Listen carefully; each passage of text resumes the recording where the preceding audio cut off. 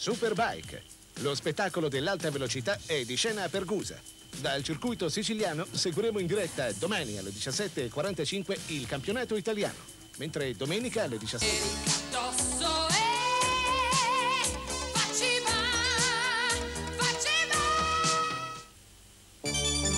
Un salotto per parlare, discutere, raccontare.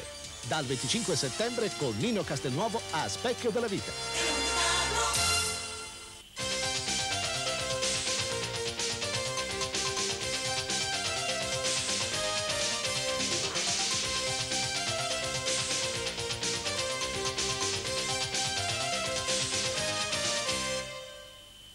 Nuovo buongiorno. Si è concluso in Belgio il sequestro della famiglia Gerin, la cittadina di Tilf. Gli ostaggi, madre e due figlie, sono stati liberati. Il capo dei sequestratori è stato ucciso e gli altri due arrestati dalla polizia. L'epilogo si è avuto nella notte e secondo la polizia belga tutto è avvenuto nel migliore dei modi. Gli ostaggi sani e salvi, il capo dei banditi ucciso e gli altri due catturati. Il riscatto oltre un miliardo di lire recuperato. Il sequestro era iniziato sabato scorso alle 21. Dopo oltre sei giorni di estenuanti trattative con la magistratura belga, le due bambine venivano liberate nella serata di ieri, dopo il pagamento del riscatto. Poi i malviventi fuggivano in macchina con la madre che rilasciavano nei pressi di Liegi. Fallito il tentativo di raggiungere l'Olanda, i banditi si barricavano in un appartamento subito circondato dalla polizia. In un primo scontro a fuoco moriva il capo banda, il francese Philippe Delair, 28 anni, specializzato in sequestri ed evasioni. I suoi complici si rifugiavano sul tetto dello stabile, ma presto si arrendevano. Uno dei due è ferito. L'incubo finiva verso le due di stanotte, dopo 140 ore di angoscia. In Gran Bretagna l'attentato alla caserma militare nel Kent il giorno dopo la strage è polemica, polemica per le mancate misure di sicurezza e intanto si preparano i funerali per le dieci giovani vittime dell'esercito inglese. In uno scenario da tragedia, Deal, gli esperti inviati da Londra stanno cercando di ricostruire attimo per attimo la dinamica dell'esplosione che ieri ha fatto strage tra i giovani musicisti dei Marines britannici. Nel padiglione squarciato dallo scoppio e nei dintorni le squadre di soccorso hanno praticamente finito il loro compito. In ospedale una decina di feriti è in gravissime condizioni. Ogni dubbio sulla natura terroristica dell'esplosione sembra ormai dissipato, anche se le autorità, almeno ufficialmente, ancora non avallano la tesi dell'attentato, ma è stata l'IRA, con usuale puntualità, a firmare la strage. Gli irredentisti irlandesi, d'altronde, l'avevano preannunciato. Il ventesimo anniversario dello sbarco britannico nell'isola sarebbe stato ricordato a suon di bombe e così, insieme ad un'ondata di commozione, è polemica oggi in Gran Bretagna polemica per le mancate misure di sicurezza per una strage annunciata che forse si sarebbe potuta evitare. Il primo ministro inglese, signora Thatcher, ha preso dell'attentato Deal mentre era in volo per Mosca dove è giunta oggi. In mattinata ha avuto un colloquio con il presidente sovietico Gorbaciov, al centro dell'incontro i problemi degli armamenti. E proprio sugli armamenti Stati Uniti e Unione Sovietica hanno trovato nuovi, importanti punti di convergenza nel corso del vertice tra i ministri degli esteri dei due paesi, Baker e Shevardnadze. Il risultato più importante riguarda le reciproche ispezioni durante i test nucleari. Per quel che riguarda invece il vertice tra Bush e Gorbaciov, forse stasera verrà resa nota la data. Con ogni probabilità il summit si svolgerà nei primi mesi del 1990. In Italia, dopo l'annuncio di ieri del Consiglio dei Ministri, puntuale è scattato alla mezzanotte l'aumento a sorpresa dei carburanti. Da questa mattina dunque la Super costa 1.375 lire al litro. L'aumento di 15 lire non ha risparmiato nemmeno la benzina senza piombo, che così è passata a 1.400 lire al litro. 16 lire d'aumento invece per il gasolio per autotrazione, mentre quello da riscaldamento è salito di 18 lire. Domani in Italia voli regolari. Il ministro dei trasporti Bernini ha infatti deciso la percettazione dei controllori di volo di Roma. Il ministro ha anche confermato la sua decisione di incontrare il prossimo 27 settembre le organizzazioni sindacali della categoria. Lo sciopero previsto per domani era stato indetto dalla LICTA, il più forte sindacato del settore. L'agitazione avrebbe provocato la cancellazione di circa 200 voli. Questa notte in Italia si torna all'ora solare. Alle 3 del mattino, ora convenzionale, gli orologi dovranno essere spostati indietro di 60 minuti e dunque si potrà riprendere l'ora di sonno perduta sei mesi fa. Alle 3 antimeridiane inoltre entrerà in vigore anche il nuovo orario invernale delle ferrovie italiane. Adesso un minuto di pausa, prima delle altre notizie, tra poco oggi torna con un panorama di altre notizie dal mondo. Vi aspetto.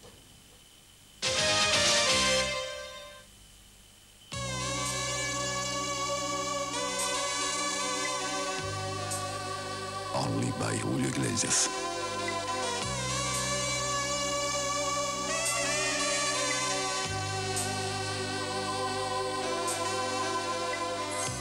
Only solo per te.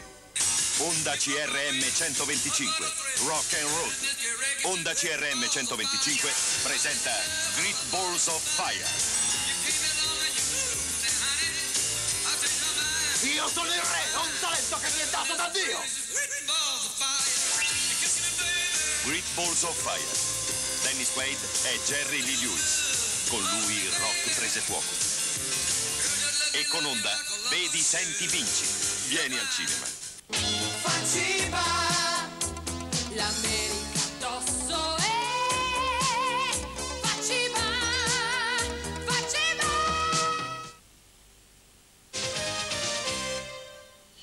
Libano inizia sotto buoni auspici l'attuazione del piano di pace arabo. Nella notte infatti il cannone ha taciuto quasi sempre. Per il pomeriggio è in programma una riunione nei pressi della cosiddetta linea verde di Beirut del comitato interlibanese previsto dal piano di pace della Lega Araba. Proprio il comitato era stato al centro di molte polemiche superate ieri quando il capo del governo cristiano Aoun aveva improvvisamente annunciato l'accettazione di tutti i punti del piano. Il disastro del DC-10 francese precipitato martedì scorso nel Niger, accertata la presenza di esplosivi a bordo dell'aereo. Questi i primi risultati della commissione d'inchiesta che sta indagando sull'incidente. Negli Stati Uniti intanto l'Ufficio Nazionale della Sicurezza Trasporti ha accertato le cause della sciagura del 737 della US Air precipitato mercoledì scorso a New York. L'incidente sarebbe avvenuto per un errore del copilota Constantine Williams. L'ente governativo per l'aviazione civile gli ha immediatamente ritirato la licenza e lo stesso ha fatto con il primo pilota del 737. Ugo, l'uragano più violento degli ultimi dieci anni, ormai non fa più paura. Il peggio è passato, almeno secondo gli esperti. Ridotto a poco più di un forte temporale, Ugo ora viaggia verso il Canada. Per la città più colpita, Charleston, nella Carolina del Sud, intanto è il momento dei bilanci.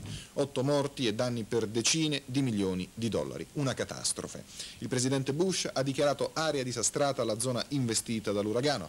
Il rischio ora è rappresentato dalle piogge torrenziali che potrebbero causare nuove inondazioni. E passiamo adesso dal piccolo schermo al grande schermo. Fra meno di un mese, il 20 ottobre, uscirà in Italia Batman, il film di Tim Burton che rappresenta l'evento cinematografico dell'anno. Abbiamo intervistato proprio Batman che ieri era di passaggio a Roma.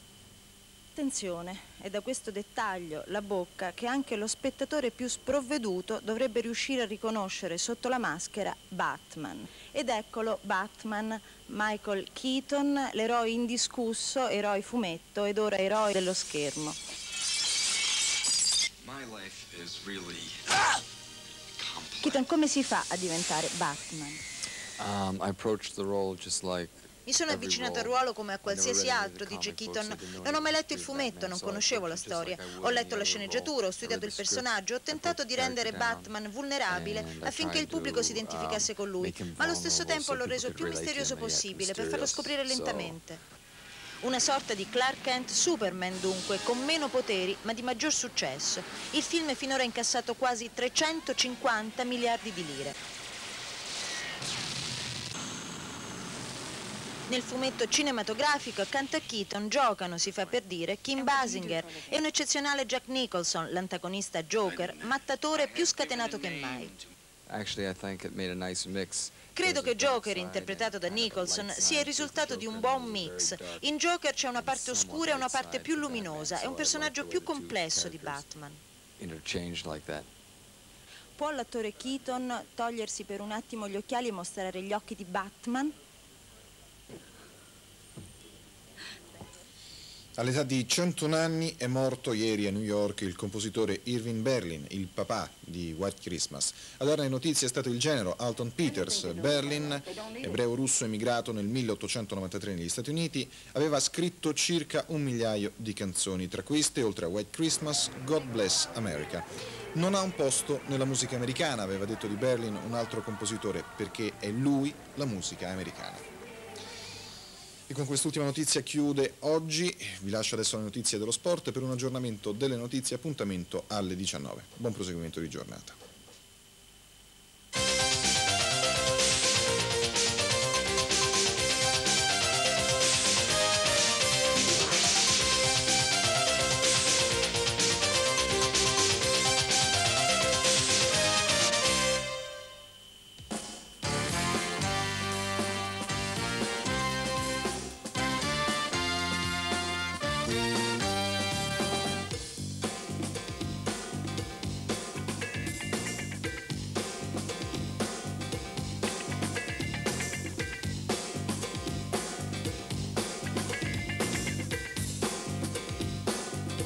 25 settembre 1989.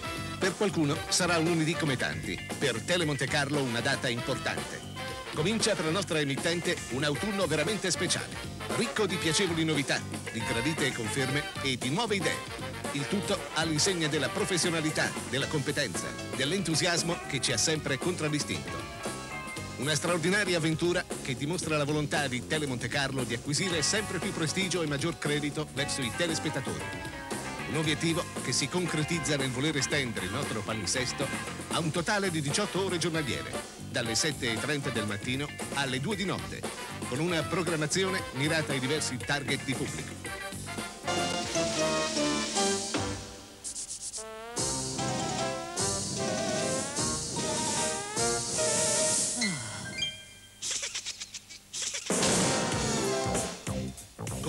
Nuova fascia pomeridiana, interamente pianificata per i giovanissimi.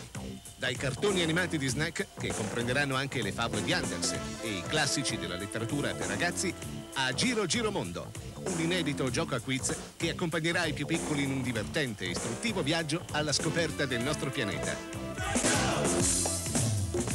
E lunedì prossimo tornerà sui nostri schermi Clip Clip, l'esplosivo contenitore di immagini e suoni provenienti dall'universo musicale.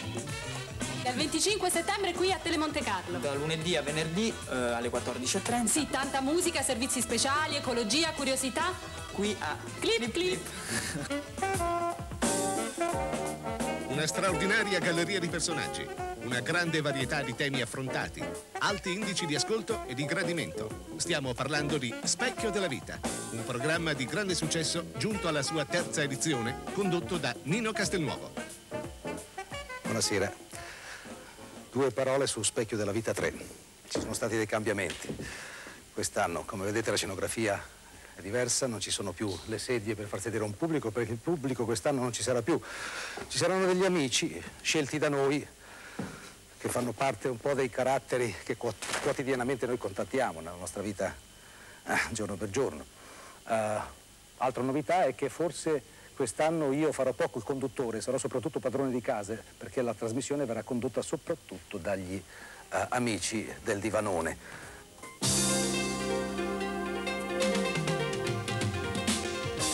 Le news hanno sempre avuto un ruolo fondamentale a Tele Monte Carlo, grazie ad una precisa collocazione nel palinsesto e a una linea editoriale originale, spigliata, esauriente modo diverso di fare informazione, arricchito da programmi d'attualità che sposano l'intrattenimento con il giornalismo al servizio del telespettatore. Ormai credo sappiate tutti che importanza hanno le news nel palinsesto di Tele Monte Carlo, però per il momento permettetemi di non parlare dei telegiornali e dell'informazione hard, ma di iniziare con TV Donna. TV Donna è stato l'anno scorso il grande successo di Tele Monte Carlo, un successo che ha forse colto di sorpresa addirittura noi un appuntamento quotidiano, pomeridiano, condotto da Carla Urban. Quest'anno TV Donna e Carla Urban ritornano alla stessa ora. TV Donna torna, cambia un po' per non annoiare, ma non troppo per non tradire. Novità sì, l'avvocato, il veterinario, lo psicologo e tantissime altre cose. I nomi? Tina Lagostena Bassi, il nostro avvocato, Alberto Bevilacqua, il nostro amico per i libri, ma lui già lo conoscete, e Francesca Marzotto per le piante e ovviamente la amica di tutti, Vilma De Angelis, per cucinare con voi e per voi. E stiamo lavorando anche a un quiz. Per tutto il resto vi aspetto il 25, così conosciamo insieme tutte le novità. Dicevamo del grande successo di TV Donna, un successo che ci ha convinti a raddoppiare l'appuntamento con TV Donna ed è nato così TV Donna mattino tutti i giorni, dal lunedì al venerdì alle 11.30. Amici di Telemonte Carlo, vi invito a giocare con noi non a tennis, ma a un nuovo gioco che andrà in onda ogni mattina per 5 volte la settimana su TV Donna Mattina. Vi ricordate Paroliamo, il quiz che ebbe tanto successo tanti anni fa? Anche questo sarà un gioco legato alle lettere. Si chiamerà Gioco di parole. Vi farà vincere tanti gettoni d'oro, sarà facile, divertente e vi raccomando, non mancate. Un'altra novità del palinsesto di Tele Monte Carlo News è Ladies and Gentlemen, un settimanale che partirà lunedì 25, tutti i lunedì sera, intorno alle 22.20. Che cos'è Ladies and Gentlemen? Il sottotitolo recita Settimanali di tentazioni e scelte. Con una formula posso dirvi è un settimanale che vuole raccogliere per immagini tutto ciò che tradizionalmente interessa agli uomini e alle donne, quindi dai motori alla bellezza, alla cosmesi, alle interviste.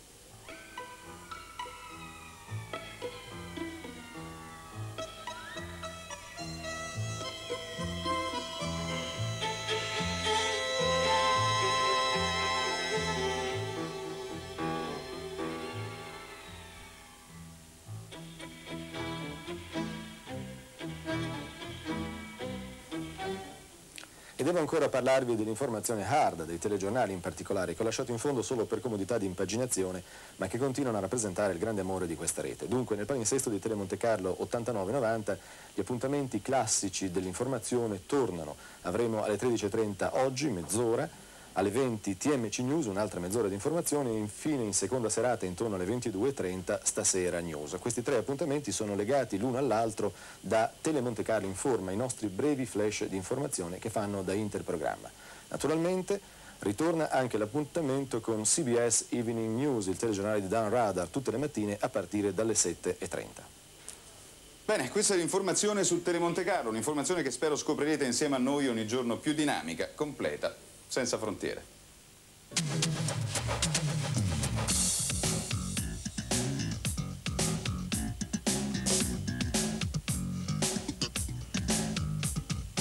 Negli ultimi tre anni, Tele Monte Carlo è diventata un indiscutibile punto di riferimento per tutti gli sportivi italiani.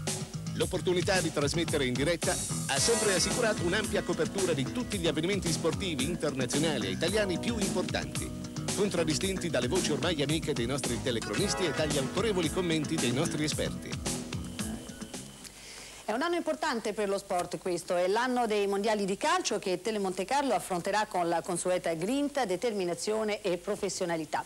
La nostra redazione sportiva sta lavorando con entusiasmo e sta preparando una programmazione veramente speciale che non finirà di stupirvi. Come sempre comunque ci faranno compagnia per l'arco di tutta la stagione i nostri super esperti. Con la nostra guerritissima squadra di esperti saremo puntualmente presenti su tutti i grandi avvenimenti dello sport mondiale, a cominciare dai Gran Premi di Formula 1, ai Gran Prix di atletica, la Coppa del Mondo di sci, il tennis e naturalmente i campionati del mondo di calcio. Il calcio farà un po' la parte del leone su Telemonte Carlo quest'anno. Vi proporremo tutte le partite più importanti di qualificazione Italia 90 e tutte le amichevoli più importanti delle squadre che si saranno classificate per la fase finale.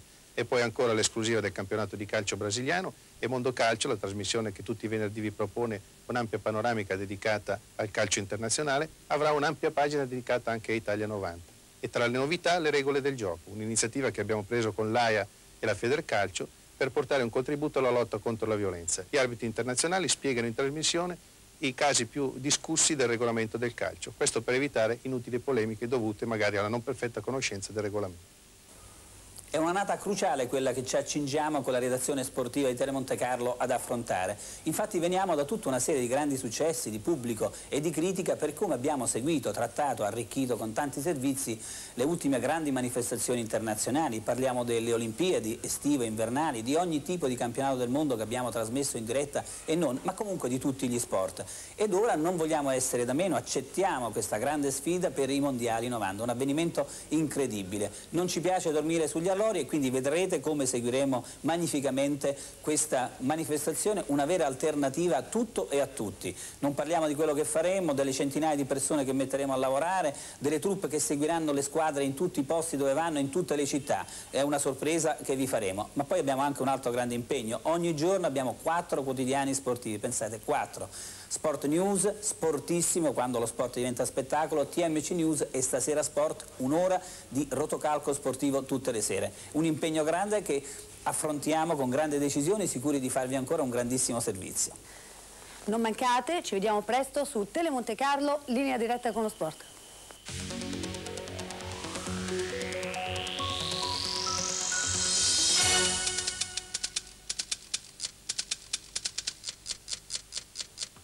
Dalla computer grafica più sofisticata e dal genio creativo dei nostri art director sono nate le nuove sigle della nostra programmazione.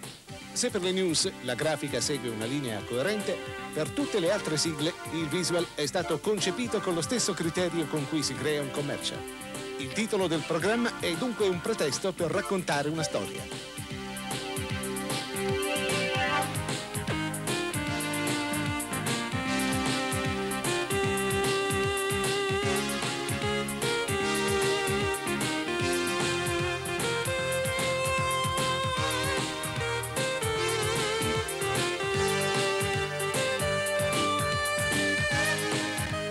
Diciotto ore di programmazione giornaliera, una moderna veste grafica, nuovi programmi, un'informazione completa e indipendente, lo sport come evento spettacolare e di grande intrattenimento. In sintesi una nuova Telemonte Carlo, diretta a un pubblico che vuole una televisione utile e intelligente. Un'esigenza che è diventata il nostro obiettivo principale, nella realizzazione di un'immagine sempre più professionale e competitiva. I ritmi più travolgenti, i video più esplosivi. Dal 25 settembre Clip Clip cambia musica.